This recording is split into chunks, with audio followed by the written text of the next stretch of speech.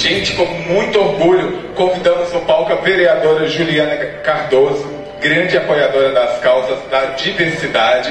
E sabe por que isso? Porque ela respeita a vida, respeita os direitos, a individualidade, ela respeita a família, porque LGBT é família, tem família, tem pai, tem mãe que sofre quando os filhos são agredidos, discriminados, e são exemplos de pais quando tem oportunidade.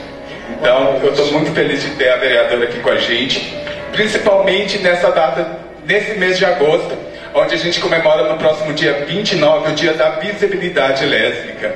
E a cidade de São Paulo, essa data faz parte do calendário oficial da cidade, graças a um projeto de lei da vereadora.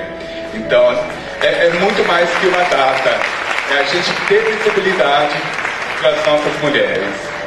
Muito bem, eu acho que é uma pauta de todos nós, né? Eu sempre falo que a gente milita em todos os lugares, em todos os tempos, né? Hoje a minha militância é na Câmara Municipal, é na vereança, que também é o espaço legislativo que a gente tem que fazer disputa, né? Porque lá a gente sabe que a pauta sempre é muito homofóbica, é contra as mulheres, contra a comunidade LGBTI. E aí, de nós, estamos na rua, estamos no, na, no, legislativo, estamos na caminhada. Vamos enfrentar esse governo que está querendo acabar e acaba com os direitos, mas ele sempre prega muito aquilo que a gente é, vai contra. Eles pregam, infelizmente, o ódio, né? E pregam principalmente o matar. E a gente é vida. Nós somos amor, somos solidariedade e a gente quer mais é viver bem e viver com políticas públicas. Muito obrigada.